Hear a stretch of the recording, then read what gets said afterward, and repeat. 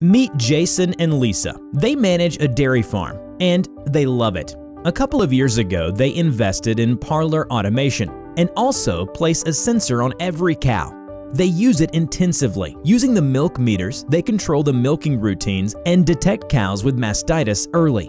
Using the cow collars, they accurately identify animals in heat and have improved their pregnancy rates significantly.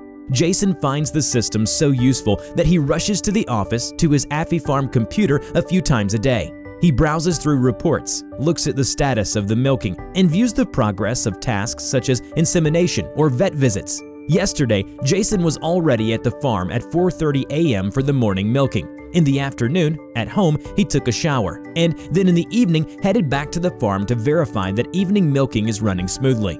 Can't you just check it through your tablet? asked Lisa.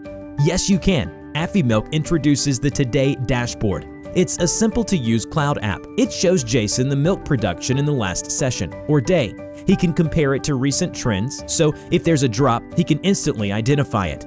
He sees how many animals are scheduled for daily tasks, animals with health issues, with a breakdown of specific matters that require further checkups, and Jason gets all of these wherever he is using his mobile phone while walking to the barns, on his tractor pushing feed, or using his tablet while relaxing on his couch in the comfort of his home. It's been a great day at the farm, and Jason has the numbers that show it. To learn more, visit www.afimilk.com today.